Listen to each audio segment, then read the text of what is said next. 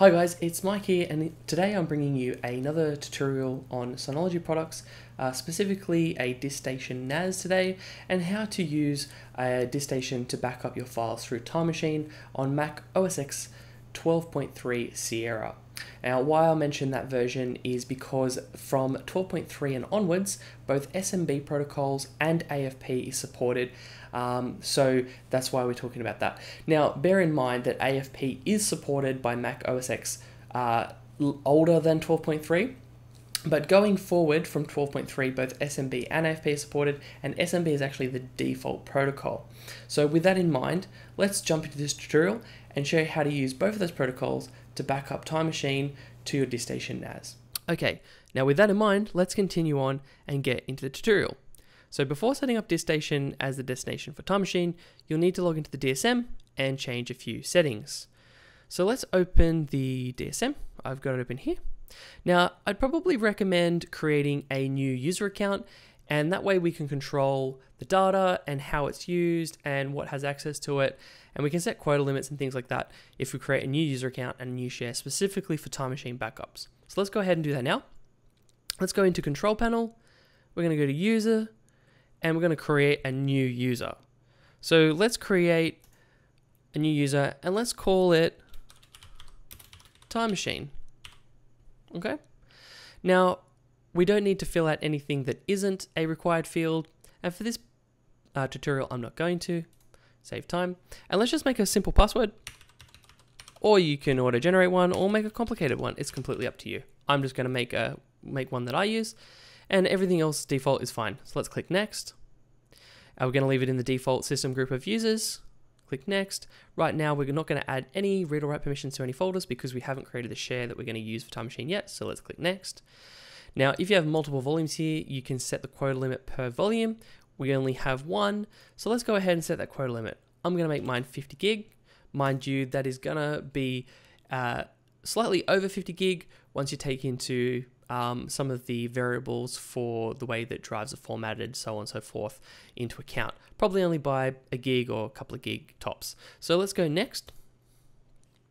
Um, we're going to leave all of that unticked, that's fine and we're going to leave all of the speed settings as default. Let's click next. We're going to review these settings. It all looks good to me. There's no access to any of our existing folders, which is what we want. It's in the users group and it's got a 50 gig quota limit. So let's click apply. Okay, so our time machine user is created. So what we want to do now is we want to go into the control panel. We're already here. Go to shared folder and we're going to create a new shared folder specifically for time machine backups. Let's go ahead and call it Time Machine Backups. How's that? And then here we can actually set the volume that it belongs to. Because I only have one, I only have one choice, and this is where our quota comes into effect. Everything else is fine, so we're going to leave it as is, and we're going to click OK.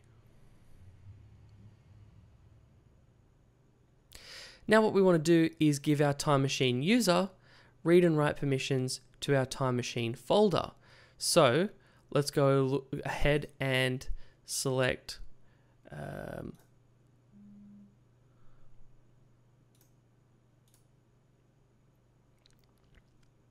Okay, so what we want to do is give our newly created Time Machine user uh, read and write permissions to our newly created Time Machine Backups folder. So here we are, we're looking at the edit permissions and we have all the users down here. So let's go ahead and give read and write permissions to the Time Machine um, user. Now we can actually take away permissions, but right now we don't need to. So let's just leave that as is and click OK. Now we've pretty much done all of the file permission stuff that we want to do. So let's go ahead and control, close the control panel. But what we do need to do is turn on the services for AFP. So let's go into control panel. Let's go to file services. And what we want to do is under this first tab, scroll down to AFP and enable the AFP service. Once we've enabled the AFP service, we need to also make sure that the the Bonjour service delivery is enabled for AFP as well. So let's do that. So it broadcasts the um, folder. And what we need to do is set the time machine folder. Our time machine folder is the time machine backup folder. So let's go enabled, hit apply and apply. And there we are. We can actually go ahead now and move over to the Mac system and start setting up our time machine backup. So let's go ahead and hide that window and let's go into system preferences and time machine. All right, so what we want to do is tick this box backup automatically and it's going to ask us which folder we want to back up to. Here is our time machine backups folder that we created automatically being picked up because of the Bonjour service that we have enabled and specified the folder in Bonjour. So let's go ahead and click that. We're going to use this disk. We also need to go ahead and specify the user account that's going to connect with, which was Time Machine. And then we need to use the password that we specified and click connect.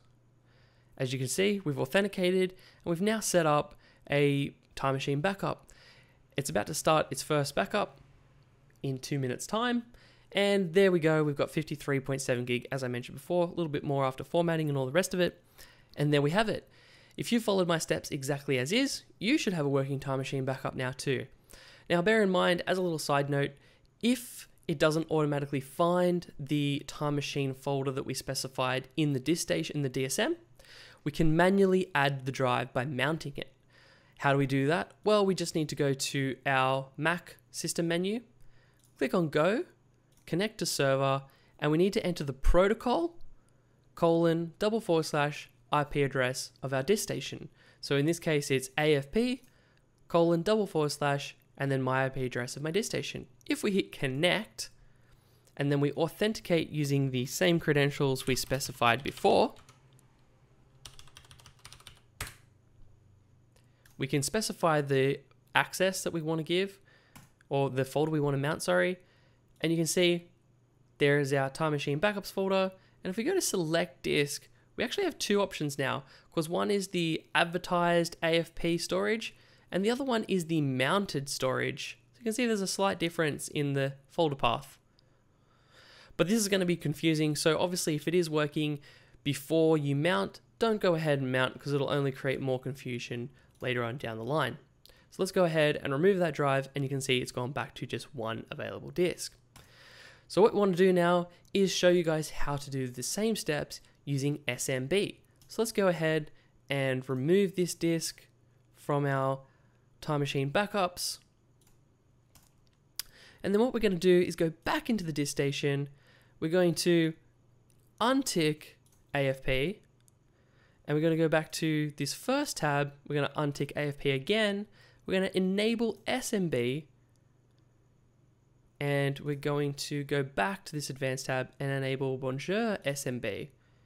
And we can see here that our Time Machine Backups folder is already ticked because of what we did before. But if you have haven't done this yet, then you will still need to do this step for the first time.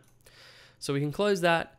We can click apply and everything should work. I probably might just mention really quickly as a side note that under SMB, under advanced settings, um, you will need to make sure that the maximum SMB protocol is SMB3. That is what's required for Mac OS X Sierra. Um, but I think by default it should be enabled to SMB3. So let's click apply and again apply. Um, so yep, we just, we're gonna accept that because we're turning AFP off.